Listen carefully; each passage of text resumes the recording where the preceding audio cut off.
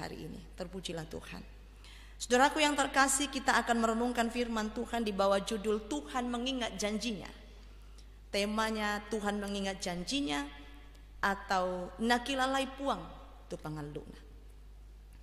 Saya ingin bertanya sebelum kita masuk untuk mengantar kita dalam perenungan pagi ini. Apa yang sering kita rasakan saat kita sedang menunggu?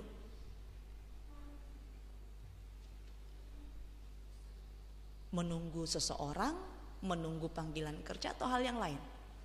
Apa yang sering kita rasakan? Jemu, bosan, apalagi? Hah? Menggerutu, bersungut-sungut? Ya, apalagi?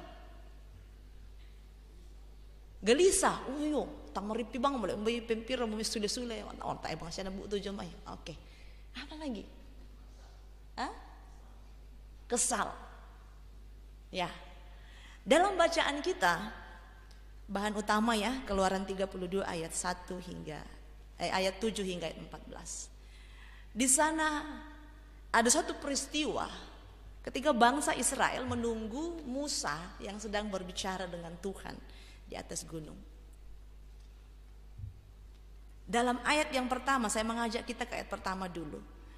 Di sana dikatakan ketika bangsa itu melihat bahwa Musa mengundur-undurkan turun dari gunung itu, maka berkumpullah mereka mengurumuni Harun dan berkata kepadanya, "Mari buatlah untuk kami Allah yang akan berjalan depan kami, sebab Musa ini orang yang telah memimpin telah memimpin kami keluar dari tanah Mesir, kami tidak tahu apa yang telah terjadi dengan dia.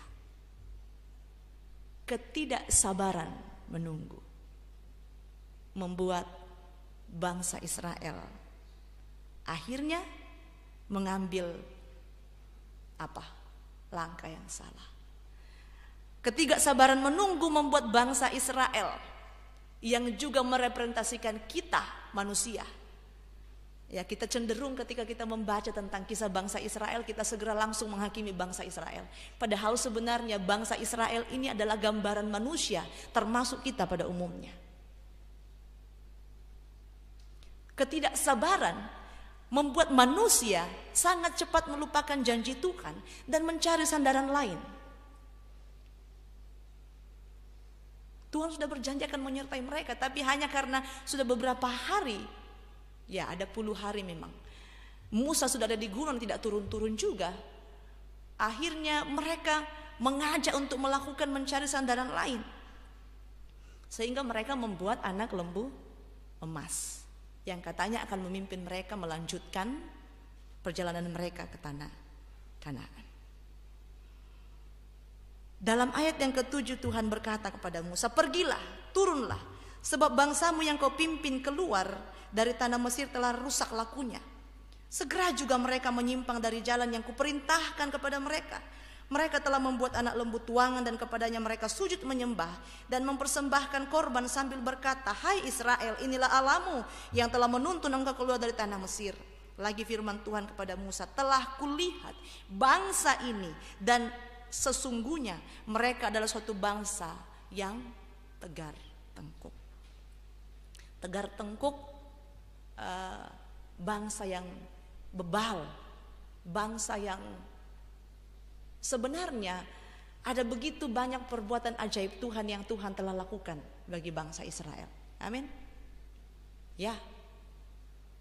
Sejak mereka ada di tanah Mesir, dalam peristiwa mereka keluar dari tanah Mesir, ada sepuluh tulah yang Tuhan lakukan di sana untuk mengeluarkan mereka dari sana. Dan tak satu tulah itu pun mengenah pada mereka, nggak ada. Hanya bangsa Mesir yang mengalami sepuluh tulah itu. Mereka sungguh dikasihi Tuhan luar biasa. Bahkan sepanjang perjalanan banyak peristiwa yang Tuhan buat. Tuhan melalui Musa membelah laut Teberau. Lalu kemudian mereka berjalan di tanah kering. Sementara orang Mesir yang mengejar mereka harus tenggelam. Habis. Begitu banyak perbuatan kemuliaan Tuhan yang Tuhan sudah nyatakan. Janji pernyataan Tuhan sudah nyatakan. Tetapi hanya karena ketidaksabaran mereka mulai ragu dan berpaling kepada Allah lain yang mereka sebut Allah. Berapa banyak dalam kehidupan kita Bapak Ibu Saya mau berkata kita benar-benar mengaminkan sudah terlalu banyak perbuatan Tuhan yang ajaib bagi kita masing-masing. Amin. Tapi berapa kali kita terkadang tidak sabar untuk menunggu Tuhan. Tidak sabar untuk menunggu waktunya Tuhan. Berapa kali kita mungkin sudah mulai mengarahkan hati kita untuk berpindah pengharapan. Sudah mulai berpikir untuk melakukan hal yang lain di luar daripada yang Tuhan kehendaki. Ya. Ini gambaran yang sangat relevan dengan kehidupan kita bahwa kita umat manusia begitu banyaknya kebaikan Tuhan tapi betapa seringnya juga kita segera melupakan segala janji penyertaan dan kuasa Tuhan dalam hidup kita. Saya memberikan lagi satu pertanyaan. Janji seperti apa yang sedang kita nantikan? Apakah janji pemenuhan kehidupan kita sekarang ini, di sini, di bumi ini?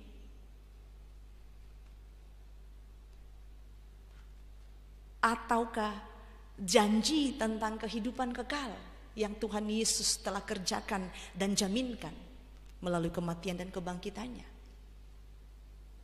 Apa fokus kita? Berapa banyak kita menunggu janji Tuhan untuk kebutuhan-kebutuhan kita selama hidup di dunia ini? Lebih banyak itukah? Kebutuhan tentang apa? Janji Tuhan tentang pekerjaan? Tentang apa? Tentang pasangan hidup? Tentang keturunan? Tentang harta benda kekayaan? Apakah kita lebih banyak menantikan Tuhan dalam hal-hal demikian? Ataukah kita telah berfokus kepada janji kehidupan yang kekal? Lebih daripada kehidupan kita yang sekarang.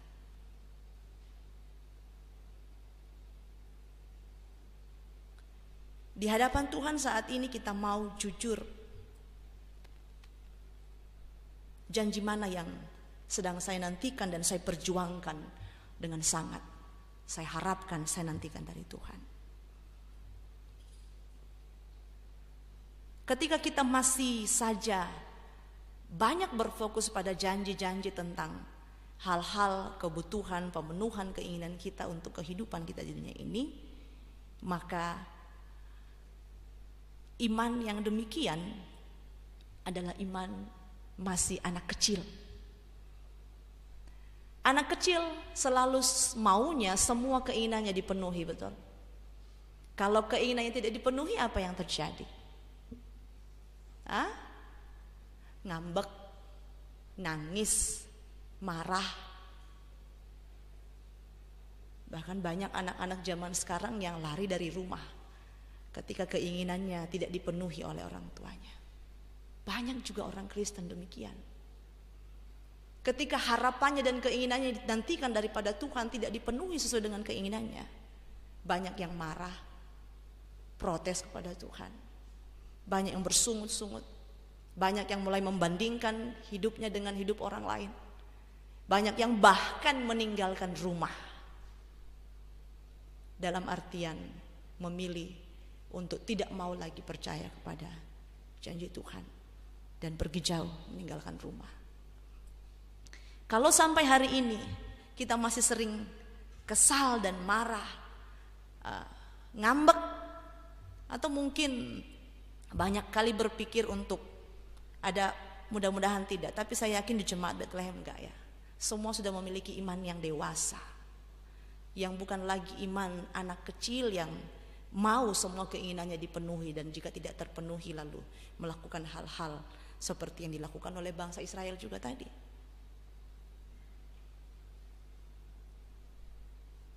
Bapak Ibu Saudaraku, salah satu keistimewaan orang Kristen Bukan salah satu, memang hal yang paling istimewa dari orang yang percaya kepada Kristus adalah tentang jaminan kehidupan kekal.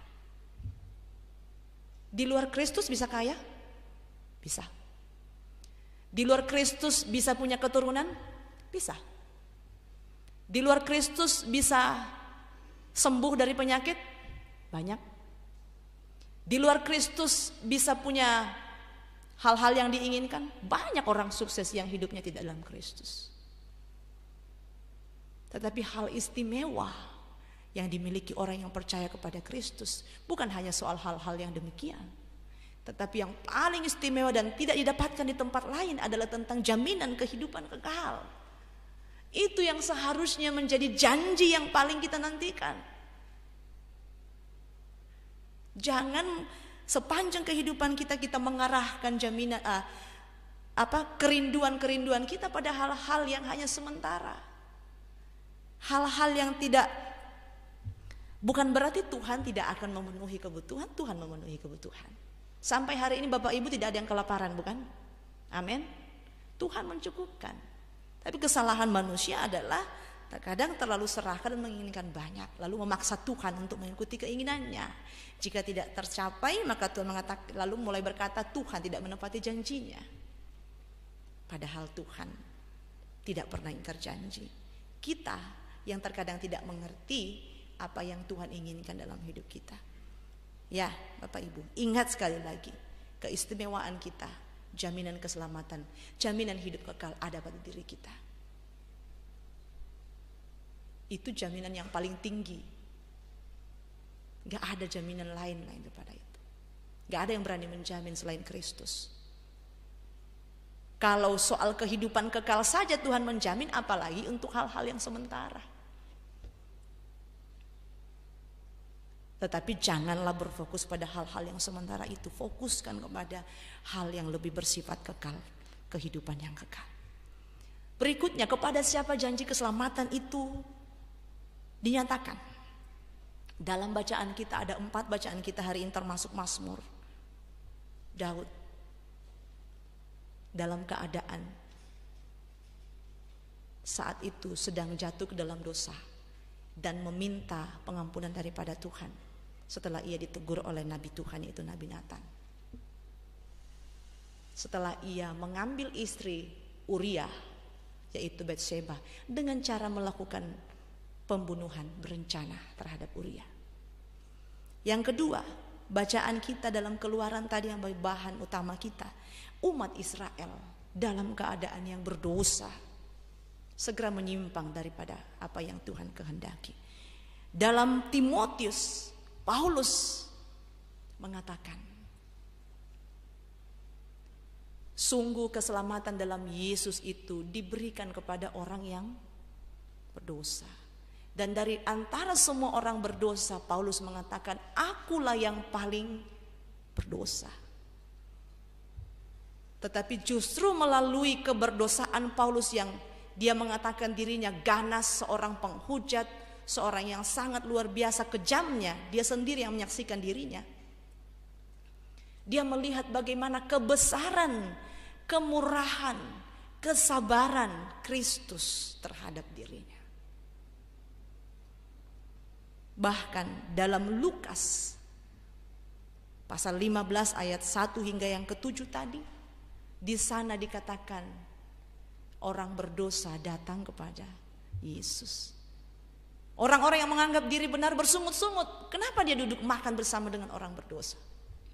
Tuhan Yesus memberikan satu perumpamaan tentang domba yang hilang. Jadi saudaraku, janji keselamatan diberikan kepada kita semua. Tidak ada yang dibatasi. Diberikan kepada bahkan kepada kita yang telah sangat berdosa kepada Tuhan. Yesus hadir dan mengatakan aku datang untuk menyembuhkan orang-orang yang sakit, bukan sakit secara badannya tapi sakit secara rohaninya supaya mereka bertobat. Jadi yang diharapkan adalah Yesus datang untuk orang berdosa supaya orang berdosa itu bertobat. Jangan disalahpahami. Oh, untuk kami inilah Tuhan Yesus datang. Lalu terus melakukan dosa, keliru. Lek. Kadang ada orang-orang yang agak agak-agak sedikit bebal mungkin kata oh nah tak saya tu pengis kita akan madosa. Kadang ada kata-kata demikian. Memang semua manusia telah jatuh dalam dosa, tidak ada manusia yang bersih.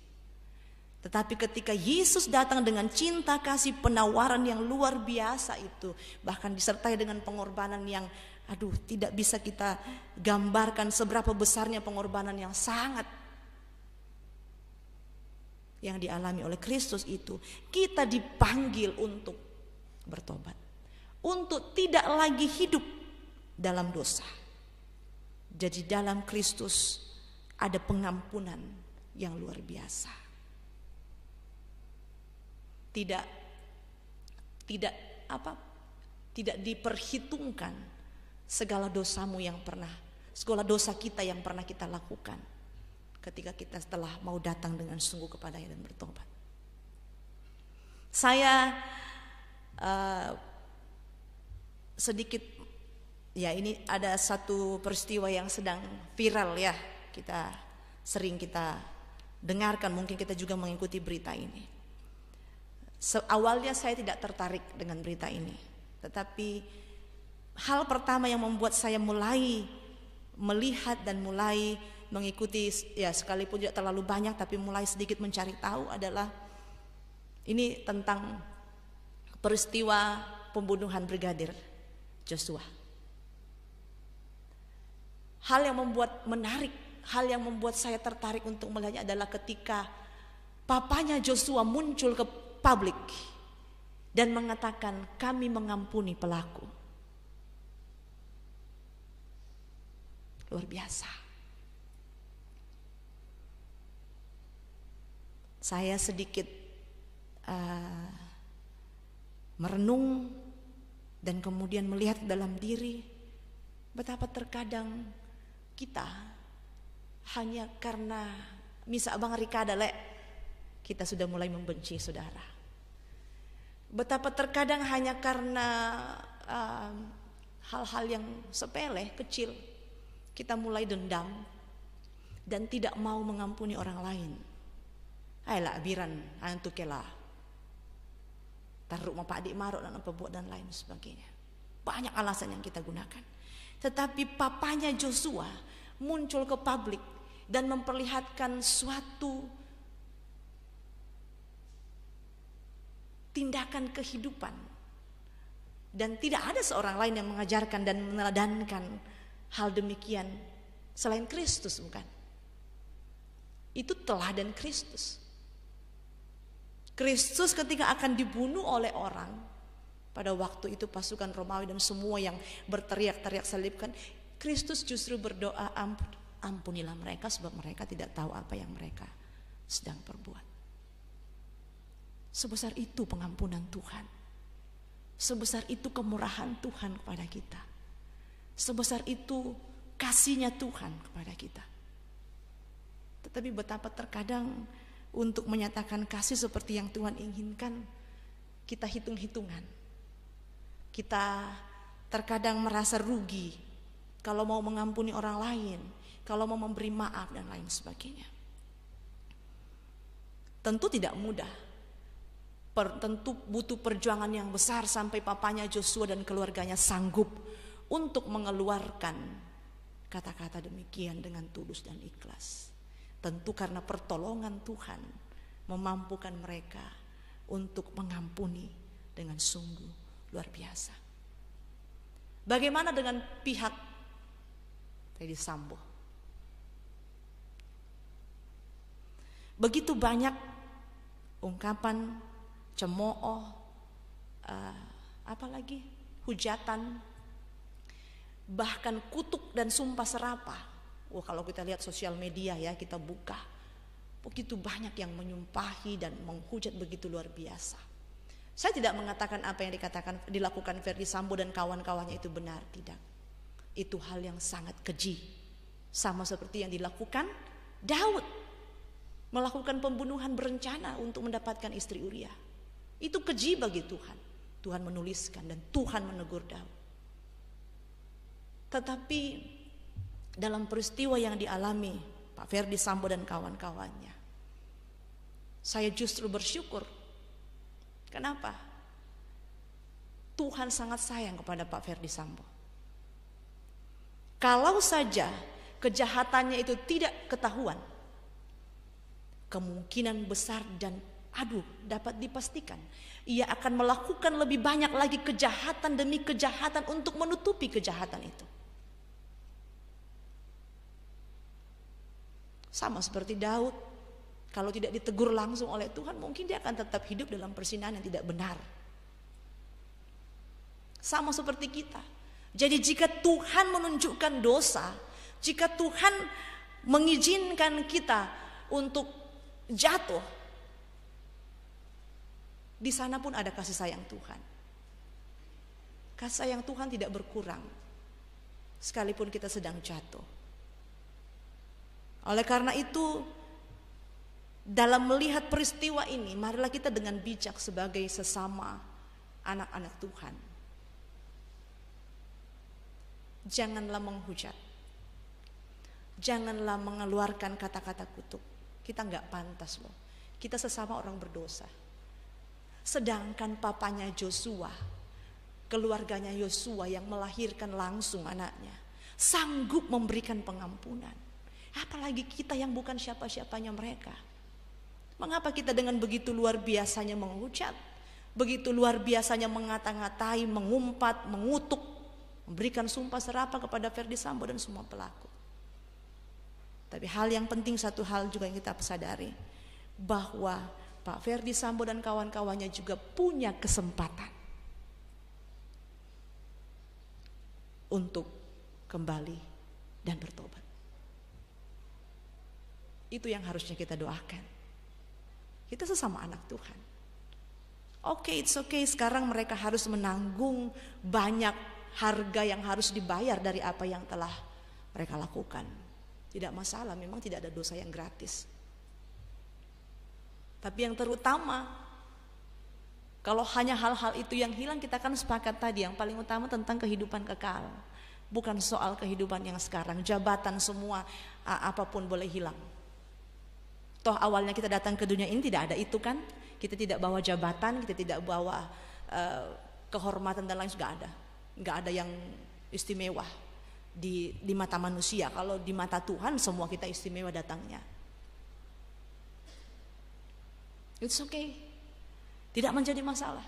Tapi yang paling penting saya sangat mengharapkan kita berdoa untuk kedua pihak saudara kita ini baik Brigadir Joshua, keluarganya kiranya diberikan keteguhan iman untuk mereka terus kuat dalam menghadapi peristiwa yang harus mereka terima, juga kepada Ferdi Sambo dan juga teman-temannya, keluarganya dalam menghadapi peristiwa hukum yang harus mereka jalani ya hukum tetap harus berjalan. Tapi kita harapkan bahwa mereka punya kesempatan untuk kembali dan berbalik kepada Tuhan dan mengatakan Tuhan, saya mengaku telah berdosa, ampuni saya. Dan kiranya komitmen untuk hidup benar di hadapan Tuhan akan menjadi langkah yang akan mereka ambil untuk ke depannya. Alkitab berkata apa? Sukacita bagaimana? Tuhan Yesus katakan apa? Ada satu sukacita yang besar di surga karena satu orang berdosa yang bertobat lebih daripada 99 orang benar yang tidak memerlukan pertobatan. Ini menunjukkan bukan berarti yang 99 itu tidak penting, bukan. Tapi menunjukkan betapa Tuhan rindunya, sayangnya, kasihnya, sekalipun hanya ada satu yang tersesat. Tapi kasih yang luar biasa itu tidak membiarkan Tuhan untuk berkata, ya sudahlah, toh sudah 99 yang selamat, biarkan yang satu itu biar sajalah. Tapi kasihnya yang begitu luar biasa itu, cintanya tidak merelakan jika hanya sekalipun hanya satu umat manusia yang hidup dalam dosanya dan tidak terselamatkan. Luar biasa janji kasih setia Tuhan berlaku bagi kita semua. Bahkan kepada setiap orang yang mungkin saat ini sedang dalam kehidupan jatuh dalam dosa. Saya selalu mengatakan, kita semua berdosa. Mungkin saja untuk saudara-saudara kita yang saat ini mungkin dihakimi oleh orang baik dan sebagainya ketahuan dosanya. Dan ada yang masih Tuhan izinkan untuk belum ketahuan. Tetapi dalam keadaan apa pun, mau yang ketahuan atau tidak ketahuan, firman Tuhan datang, segera bertobat.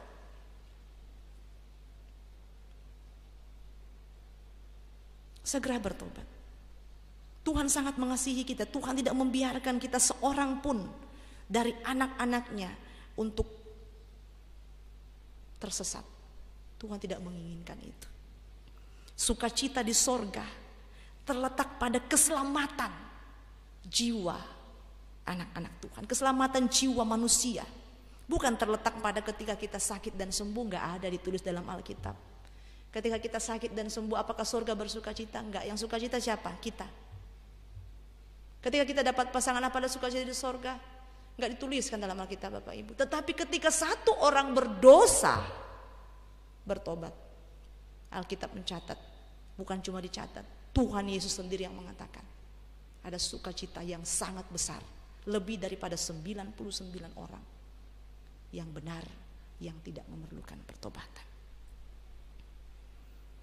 Oleh karena itu saudaraku, dalam penantian-penantian kehidupan kita, Terlebih dalam penantian janji kehidupan kekal yang Tuhan telah jaminkan kepada kita. Janganlah kita menyimpang ke kiri dan kanan. Fokuskanlah pandangan kita pada janji itu. Tuhan tidak pernah lalai untuk tidak menepati janjinya enggak. Tuhan selalu menepati janjinya.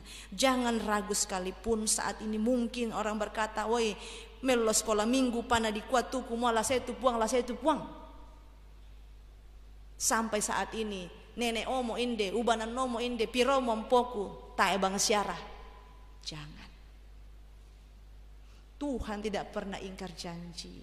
Apa yang telah Tuhan janjikan akan digenapi. Oleh karena itu tetaplah berpegang teguh pada janji yang Tuhan telah nyatakan pada kita.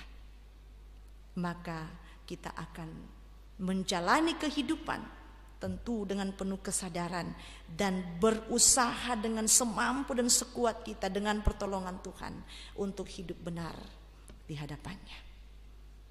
Tuhan memberkati kita semua.